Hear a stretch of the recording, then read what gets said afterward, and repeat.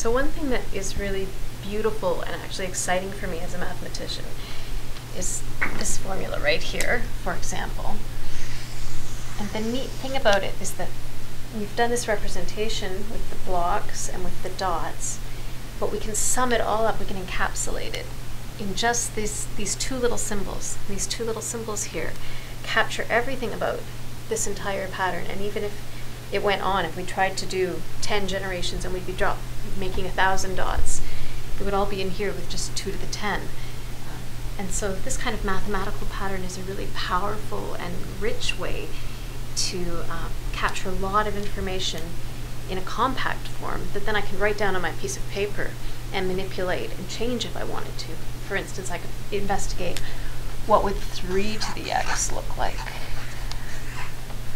Or what would 2 to the x plus 1 look like?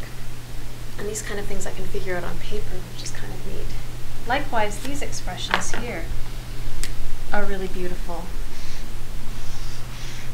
And they encapsulate, again, all the information that's in these growth patterns.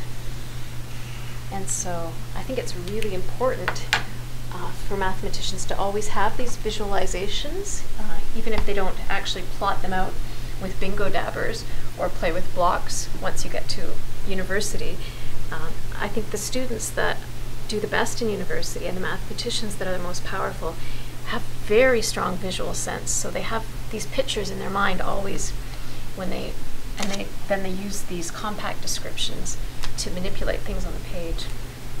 And in my research work, I'm always talking to biologists who have very visual and very um, elaborate, complicated uh, understandings of a very rich biological system, and I try to encapsulate in a very simple mathematical model uh, something about how that system grows or what patterns are there so that we can understand it better.